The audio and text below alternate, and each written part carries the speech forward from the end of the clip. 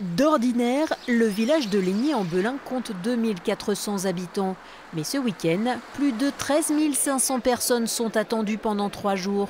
Toutes sont là pour un événement, le Festival des vins et de la gastronomie. Ce rendez-vous existe depuis 33 ans et d'année en année, les visiteurs sont de plus en plus nombreux. Il y a une proximité vraiment euh, euh, du producteur au consommateur qui est, vraiment impressionnante et je pense que ça fait partie du succès du, festival. C'est la fidélité des exposants La fidélité des exposants, exact, parce que d'une année sur l'autre, euh, on a 99% les mêmes qui reviennent d'une année sur l'autre.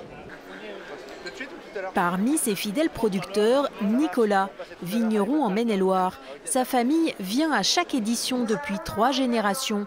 Ce salon, c'est environ 20% de son chiffre d'affaires de l'année.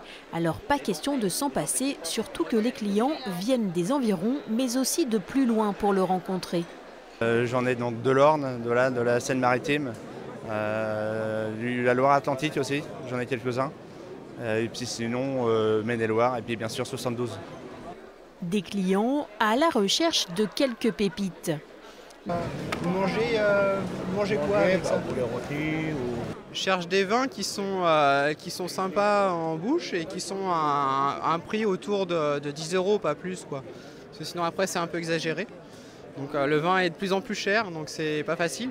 Donc avec le salon des vins, ça permet de, de goûter un peu, d'apprécier différents vins, de découvrir différents vins à des prix raisonnables. Dans l'avenir, les organisateurs aimeraient bien faire venir des exposants de départements encore peu représentés, comme par exemple le Jura ou la Savoie, le tout à consommer avec modération bien sûr.